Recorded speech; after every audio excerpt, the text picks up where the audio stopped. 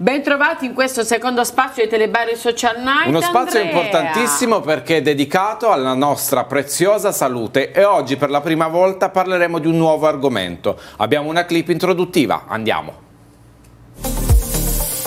La metodica TRAP, che ormai penso molti di voi cominciano a capire e a conoscere di cosa si tratta, lo ripeto, fleboterapia rigenerativa tridimensionale, rivolta alla cura e alla prevenzione delle vene varicose e capillari. Oggi voglio parlare di prevenzione perché approcciarsi anche alla trappa a livello preventivo, perché se è vero che l'eziopatogenesi, cioè la causa della formazione di queste vene varicose, è legata a queste vene perforanti, io consiglio vivamente a tutte le donne gli uomini che eh, com cominciano ad avere dei problemi di ritenzione idrica, dei dolori alle gambe, cominciano a vedere le prime vene capillari eh, che si formano, addirittura i, le prime vene varicose, a livello preventivo noi riusciamo a, cura a curare, a trattare questa, questa situazione andando a ridurre lo stato ipertensivo che si forma a livello di queste vene. Ben trovato Nicola Cortese, medico estetico, chirurgo estetico e grazie di essere qui con noi al dottor Luigi Astorino. Allora, insomma, ci può raccontare questa trap che cos'è? Perché insomma è un metodo innovativo che in Italia l'ha fatta in due persone, no, tre persone. No, un po' di più, però certamente non è un numero esagerato. Nel sud Sotto 10? Ma un po' di più, però non è un, un certamente un, un, quantitativo di medici che lo fanno Dif tutti, diffusissima. Tutti, certo. Niente, è un piacere, tanta grazie, buonasera, grazie per l'invito. È un piacere poter parlare oggi di TRAP, quindi di questa fleboterapia rigenerativa tridimensionale, perché io da qualche anno, da dieci anni, sto cercando di divulgare questa metodica e farla conoscere ai più. Per quale motivo si parla di TRAP? Perché, come lei diceva, è una tecnica innovativa che si preoccupa di curare la causa e non l'effetto delle vene varicose. Mi spiego ancora meglio, diciamo che non va a occludere i vasi come possono fare altre terapie dalle quali noi certamente non, non, non ci dissociamo, ma ovvio è libero ognuno di fare quello che vuole, però la TRAP, appunto questo acronimo di fleboterapia, va a rigenerare questi vasi che si sono diventati meopreagici. Lei diciamo viene, eh, è calabrese, viene spesso anche a Bari, anche dal, dal dottor Cortese, insomma, per fare questo metodo innovativo. Come no, io devo ringraziare il dottor Cortese per la sua ospitalità, credo che lui abbia accettato il mio invito, anche perché lui parla molto di medicina rigenerativa e la TRAP diceva una, una, terapia rigenerativa e da lui da un po' di tempo che mi approccio a fare questa, questa tecnica, credo, e non solo qui, anche a Bari, sono, vado in altre parti della Puglia, quindi credo con ottimi risultati. Assolutamente sì, tutte pazienti super soddisfatte del trattamento. Beh, insomma, siamo super contenti. Io invece volevo um, chiederti, uh, diciamo, di una radiofrequenza con aghi, sì. vivace, che cos'è e a cosa soprattutto serve? È un nuovo dispositivo il Vivace che sta spopolando il mercato della medicina estetica in quanto consente di eh, determinare risultati di lifting molto naturali e rimpolpare i tessuti soprattutto per l'elassità, quindi lassità sia del viso, quindi un approccio eh, molto bello, molto naturale che serve a liftare i tessuti, a ridensificarli e in qualche caso anche a svuotarli delle adiposità che danno un po' più fastidio, mentre invece a livello del corpo consente di stendere la pelle eh, laddove appunto abbiamo avuto un rilassamento importante importante. La radiofrequenza funziona mediante degli aghi eh, che sono in oro, monopaziente e monouso, vengono utilizzati a diverse intensità per andare a determinare vari effetti. Eh, gli effetti più importanti sono sicuramente l'effetto lipolitico. Infatti stiamo vedendo anche queste immagini, Esatto, dottore, come possiamo vedere braccio. qui sulle braccia, eh, dove gli aghi impostati per lavorare su tutta la loro lunghezza vanno a determinare una necrosi proprio degli adipociti che quindi svuotano il loro contenuto e consentono quindi un liftaggio di tutta la regione. A livello invece del derma la radiofrequenza non fa altro che eh, shrinkage delle fibre collagene, oltre a determinare la deposizione di nuovo collagene, quindi un rimpolpamento di tutto il tessuto. Vabbè, stiamo vedendo anche quest'altra paziente. Sì, e questa per un esempio è un dopo. trattamento full face. In questa paziente possiamo apprezzare molto bene il contorno occhi e per esempio il bargiglio in sede eh, mandibolare, come risulta essere molto più tirata e quindi anche eh, più gradevole alla vista. Assolutamente. Andrea. Piccolo spazio gossip, prima di tornare a dare il benvenuto nella famiglia di Social Night al dottor Astorino, piccolo spazio gossip, volevo sapere dal dottor Cortese che trattamenti sicuramente light avrà fatto questa celebrità che si è vista agli Oscar qualche giorno fa per 61 anni suonati Demi Moore. Una meraviglia. Natura tutto Mamma, naturale. Tutto naturalissimo, assolutamente. Io allora, ho visto delle fotografie qualche tempo fa di un, eh, diciamo, di, rispetto a due anni fa lei ha perso la gran parte della volumetria malare che le era stata iniettata, eh, c'era qualche foto di un Emmy se non ricordo male, okay. molto... Qui la vediamo fatta. con le sue figlie e non fantastica, sembra, sembra una trentenne, però devo dire la verità che questo è un risultato di natura chirurgica e ah, si vede, okay. molto palese, nel senso che la, la Demi Moore avrà fatto sicuramente un bel lifting. Un lifting fatto meravigliosamente perché è assolutamente naturale, le cicatrici non si apprezzano e soprattutto l'ha rinfrescata in maniera veramente stupefacente. Ok, chiudiamo eh, lo spazio eh, gossip. Eh, certo, è, è, è ovvio che sempre. tu sempre gossip. sì, eh. lo rivendico con orgoglio, sì. Eh, poi faremo i gossip pure su di te col dottore Cortese e non solo. No. Dottor Astorino, invece volevo chiederle una curiosità, le vene perforanti, qual è la causa diciamo della loro incontinenza? Intanto cerchiamo di far capire cosa sono queste vene perforanti. Beh, le faremo anche vedere ora Sono un sistema di vene che mettono in comunicazione questo sistema di vene superficiali con quello profondo, quindi nel momento in cui queste vene perforanti... Le stiamo vedendo Benissimo, ora. questi sono i capillari che sono poi l'espressione un po' di questa insufficienza delle vene perforanti, quando diventano incontinenti queste vene perforanti a quel livello si crea tecnicamente uno stato ipertensivo che si manifesta sia con questi capillari che stiamo vedendo e poi con quelle, tanto per parlare di bellezza, per stare in tema, quelle fastidiose, brutte vene varicose che tecnicamente non sono altro che la dilatazione di queste vene superficiali che diventano, diventano varicose, da qui il nome appunto di vene varicose perché si dilatano per, a causa di queste vene perforanti che noi curiamo con la trappola. Dottor Astorino, è partito almeno per quanto mi riguarda il conto alla rovescia per l'estate. Ci sono dei trattamenti, dei consigli che lei appunto si sente di suggerire ai nostri telespettatori? Penso che questa è una domanda molto appropriata anche per il periodo. Siamo Visto, Maddi, non solo gossip, anche domande appropriate. Finalmente! nel, senso, nel senso che il periodo è ancora quello giusto, anche se poi sono trattamenti che io inizio da, da ottobre e finisco a maggio-giugno, ovvio, okay. qui, essendo qui a Bari già fra qualche mese farà caldo, però siamo ancora in tempo per fare che cosa? Fare prevenzione, tanto venendo a eseguire una visita per valutare lo stato della, di salute di queste vene, che non devono essere per forza eh, un, uno stato pietoso, come dico io, nel senso devono essere certo. ammalate, la prevenzione ancora di più e mi rivolgo a quelle giovani che intendono avere anche delle gravidanze o alle persone che fanno sport e quindi a quel punto è il periodo, i consigli sono di fare delle visite, eseguire poi dei trattamenti che danno dei risultati già dalle prime, dalle prime sedute. Poi i, i consigli più generici sono quelli di non esporsi magari l'estate al sole perché sicuramente non, è, non, sono indicate nelle ore più calde. Ore più calde, è ovvio, fare le belle passeggiate e poi come dico sempre io lo stile di vita di cui tanti di noi parlano, ma stile di vita cosa significa? Una sana alimentazione, una sana idratazione e poi eh, come dire, le, le, giuste passeggiate e eh, potrei dire un'eresia ma non lo è, evitare quegli sport estremi. Per quale motivo? Perché mm, con gli, gli, sport estremi mettiamo sotto pressione questi polpacci, quindi, quindi mettiamo sotto pressione le nostre vene e da lì fate caso molti calciatori, molti ciclisti formano poi le cosiddette vene varicose. Quindi no al troppo sforzo. Ecco, detto in questo senso sì, mi sta bene.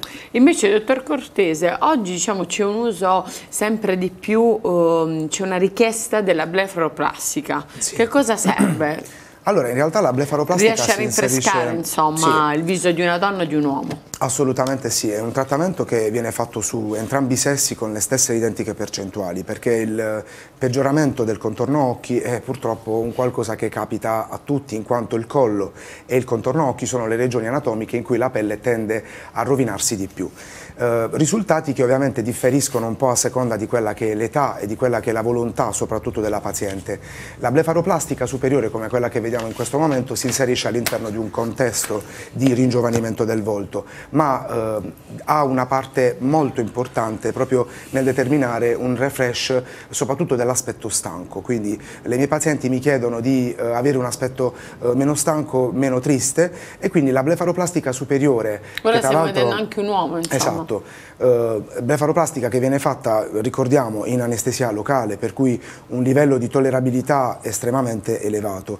Si va fondamentalmente con un piccolo intervento a recentare la plica di cute eccedente, eh, si va a svuotare della borsa adiposa che generalmente arricchisce anche e infarcisce il contorno occhi e dopodiché si va a confezionare una sutura estetica.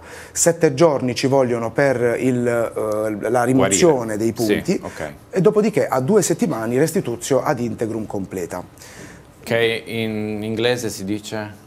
Uh, Istituzio di interim completa, vado su Google a cercare. Eh, sì, la guarigione completa sì, diciamo era, di tutto. Era chiaro, dottore Danzi. Eh, studi classici ho fatto. Quali sono le richieste che diciamo anche il mondo maschile ti fa di più?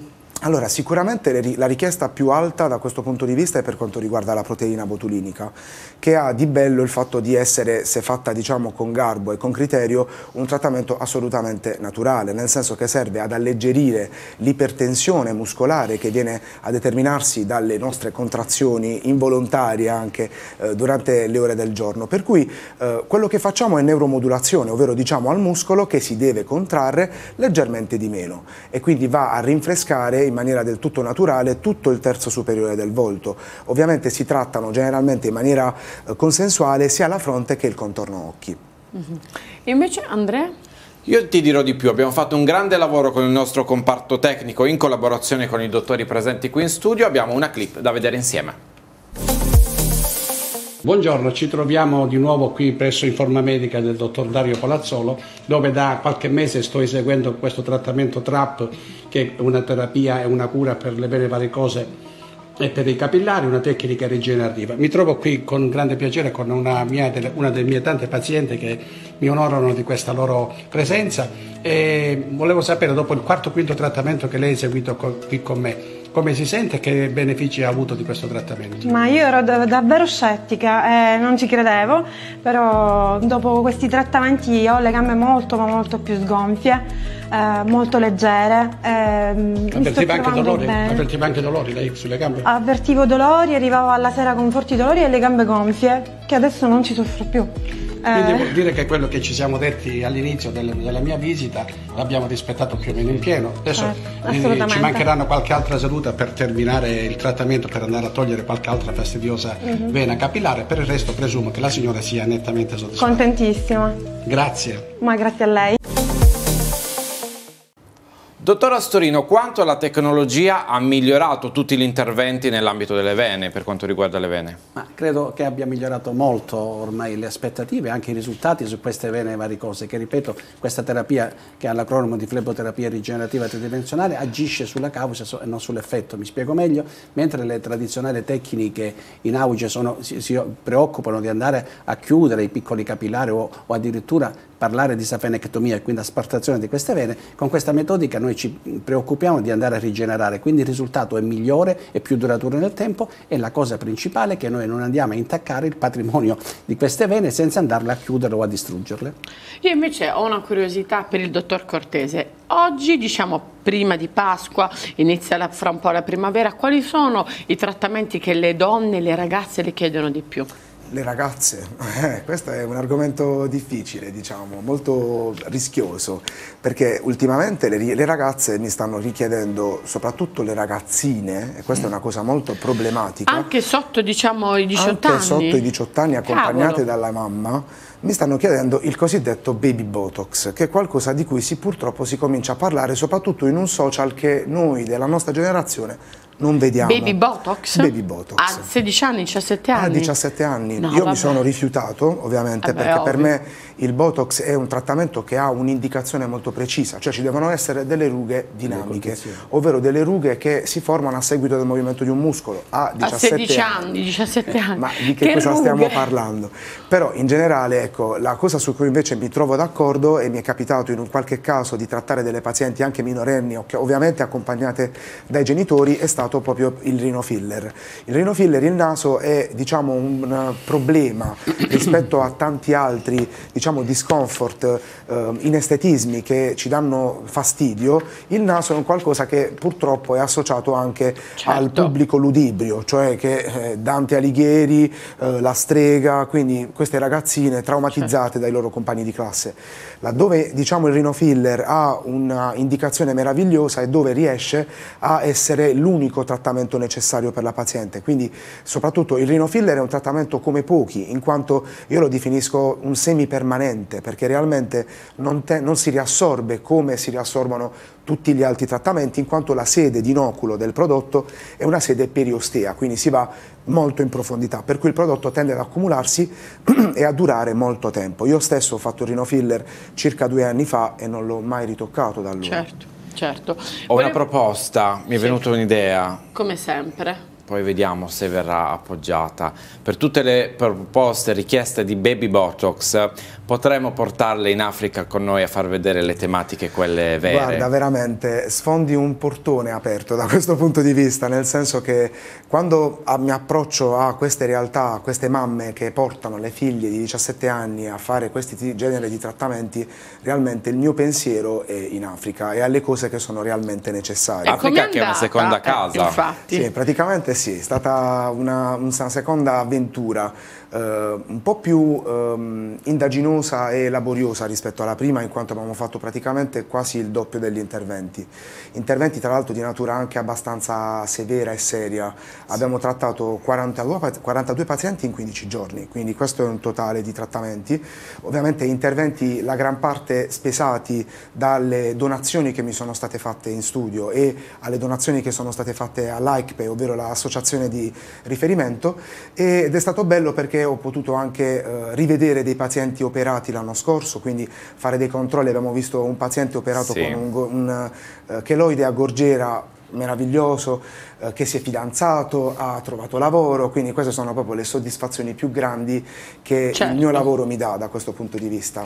Sì, abbiamo ricevuto tantissime foto dal dottore, diciamo che per una questione di sensibilità per il nostro pubblico abbiamo, Abbiamo deciso un scelto, po' sì, quelle di più- essere... Giusto, giusto, assolutamente. Quelle più, diciamo, Però meno invasive. Ecco. Le fa onore e poi ci fa piacere sapere che la Puglia ha un gran cuore, quindi. Assolutamente sì, devo dire ho avuto, mi hanno riempito letteralmente lo studio. Quando ho fatto capire che a qualche paziente, diciamo un po' più amica, che potevo portare anche qualche vestitino, qualche giocattolo, vi- lo studio era invalicabile, praticamente invaso Bello. dai colori, dai pastelli. Quindi, tra l'altro, sul mio profilo trovate una raccolta, eh, si chiama Mission 2024, e potete trovare lì tutte le storie della mia missione in Togo di quest'anno, tra cui anche le storie fatte in orfanotrofio, fatte presso la Petite École, dove ho distribuito appunto le cose datemi dalle mie pazienti. Bravo, bravo Nicola Cortese, grande Grazie. cuore e grande professionalità. Vi troviamo entrambi su Giovinazzo. Assolutamente. Come no? Io ringrazio il dottor Luigi Assorino, medico, di essere stato con noi, di averci spiegato che cos'è la trap. Grazie, di, Grazie insomma, della vostra presenza.